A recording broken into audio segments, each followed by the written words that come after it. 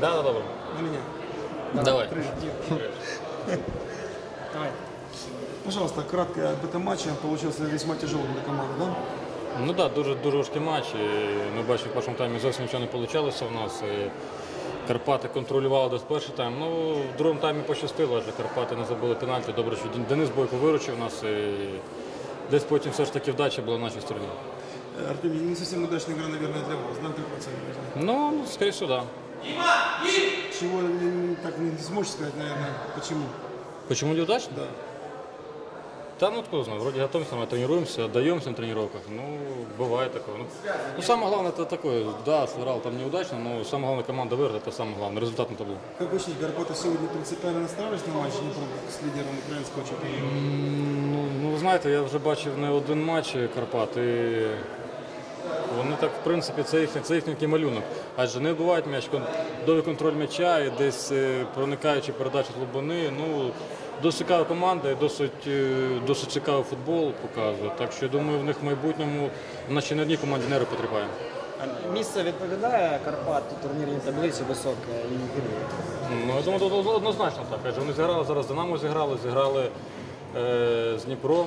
Ще важкий матч однозначно буде проти Шахтаря. Шахтарю також з ним нелегко. Ну і я думаю, по таким е, результатам, які зараз показує команда, по тій грі, то вона однозначно Карпат побореться Єврокубку.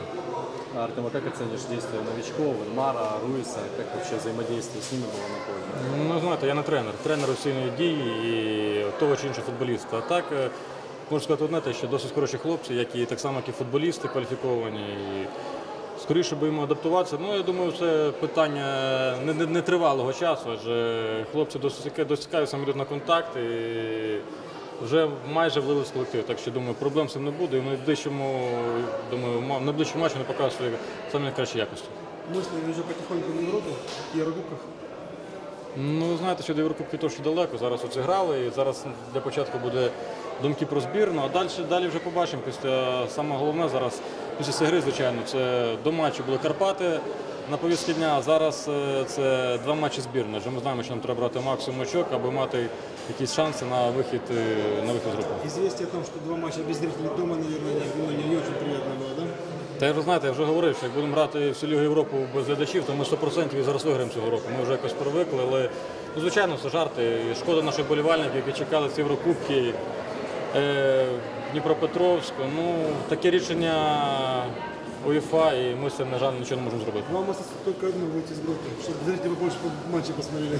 Ну, других варіантів не розглядаємо, адже зараз на Дніпро буде зовсім інше налаштування, вже не буде сприймати якось несерйозно, всі будуть налаштовуватися як, як на серйозну команду фіналісти Ліги Європи. Так що нам треба однозначно тримати планку, покращувати свої, е, скажімо так, гру і однозначно згадувати ті е, взаєморозуміння, які були в минулому чемпіонаті на футбольному полі. Спасибо. Будь ласка.